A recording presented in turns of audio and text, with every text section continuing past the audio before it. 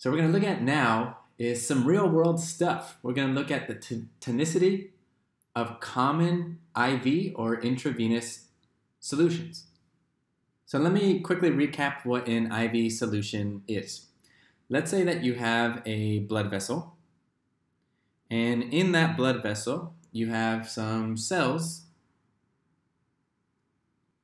with an osmolarity of 0.3 and these cells are swimming in plasma, which normally should also have an osmolarity of 0.3.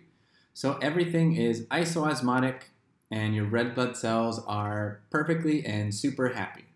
Because the osmolarities are the same inside and outside the cell, the cell might lose some water, but it'll gain water back at the exact same rate.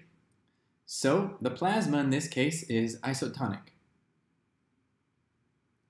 because we are in osmotic equilibrium.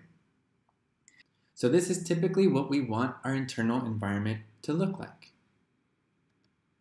But what if to this environment we took a certain solution? So for example, here you can see that I have a bag of what's called 0.9% sodium chloride solution.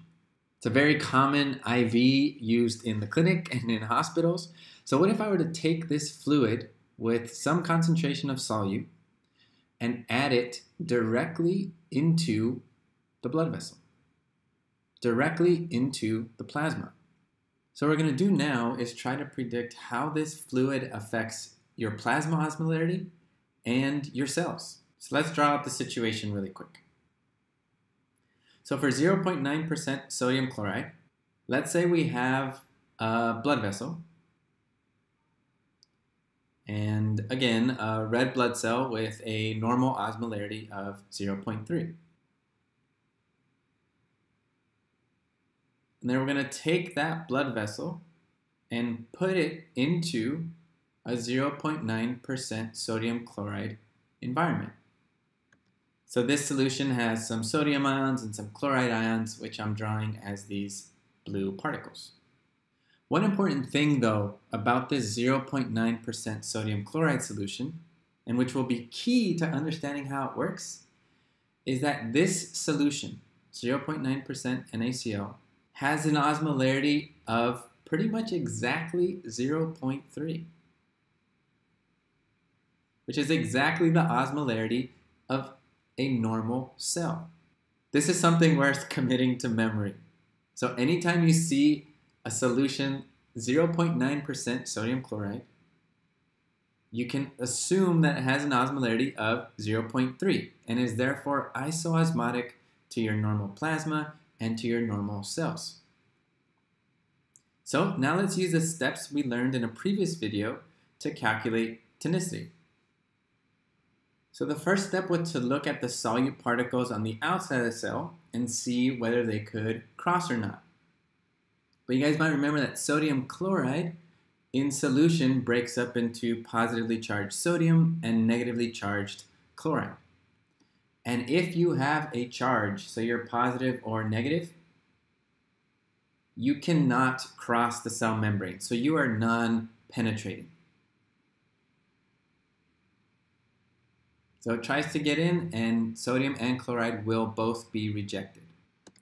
So even though sodium and chloride would want to diffuse into the cell from high concentration to low concentration, they are prevented from doing that by the cell membrane of, in this case, the red blood cell. So we assume that none of the sodium chloride we added to the plasma will diffuse into the cell from the plasma. As a result, the osmolarity numbers will not change inside or outside the cell. The osmolarity in the ECF for the plasma stays 0.3, and the osmolarity inside the cell also stays 0.3. So that means that the ECF and ICF in this case are perfectly isoosmotic. They have the exact same osmolarity. Finally, after comparing those osmolarities, we can see that those osmolarities are exactly the same so water might flow out, but it'll flow in at the exact same rate. Because remember, water always goes towards the higher osmolarity, but here, since the osmolarities are the same, water overall will not enter or leave the cell. So that means that the tonicity in this case is isotonic. Water did not enter or leave the cell, meaning that the plasma and 0.9% sodium chloride are isotonic to your red blood cells. And this is why this solution is so common in the clinic, because you can give this to somebody and theoretically it should not cause their cells to gain water or lose water. Their cells will be perfectly happy and you can give them fluid, you can give them sodium and chloride, but their cells won't swell up or shrivel due to water loss or gain. It's an isotonic IV solution.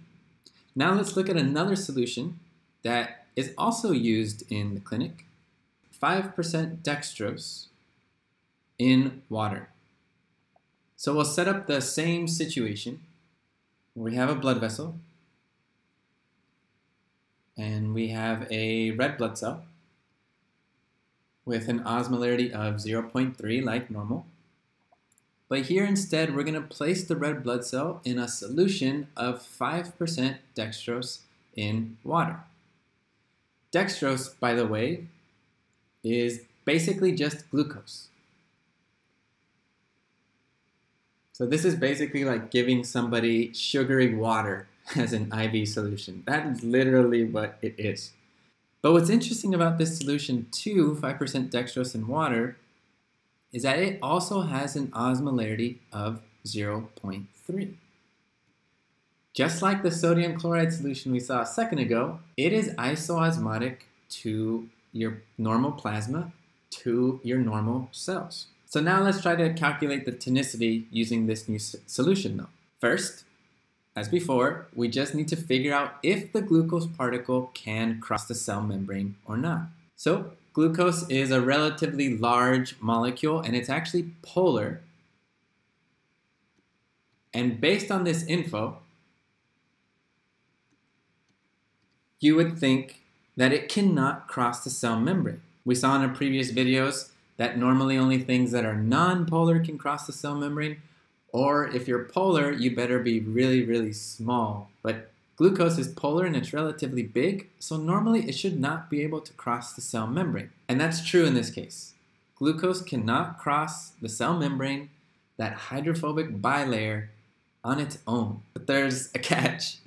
So glucose, since it is so important to your cells as a source to make energy, we need to get it into the cells somehow. So it turns out that your cells have a special protein known as a carrier protein with a name known as GLUT, which stands for glucose transporter. And what this GLUT protein can do is it can actually carry glucose into the cell, allowing it to diffuse. So normally glucose or dextrose cannot get into the cell on its own, but by getting help from this GLUT protein transporter, this special door that allows glucose to get in, we're going to consider glucose to be permeable. We're going to consider glucose to be able to cross the cell because of this GLUT transporter. Let's let glucose cross the cell by diffusion because now we know that it can using GLUT. So what's going to happen now is that all that glucose we have in the plasma will now try to diffuse into the cell. So glucose goes into the cell, equalizing its own concentration. But glucose also has another unique feature.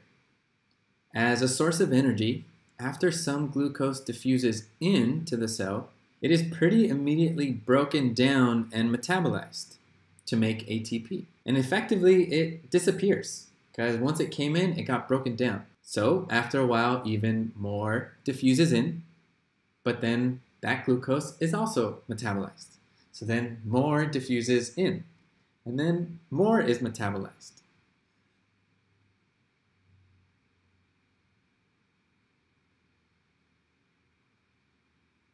This cycle will repeat until all the glucose that was added in the solution goes into the cell and is broken down, ultimately, effectively leading to no glucose remaining inside or outside the cell.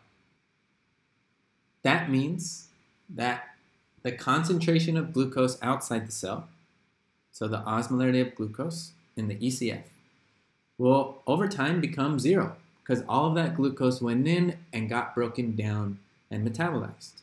If we look at the concentration of solute on the inside, that was still 0.3 because all of the glucose that entered was metabolized. So that means that the extracellular fluid became hypoosmotic, has a much lower osmolarity compared to the cell. And since water always goes towards regions of higher osmolarity, water will go in, meaning that tonicity of this solution is hypotonic. The cell swelled up like a hippo and is at risk of exploding. So these are two interesting IVs.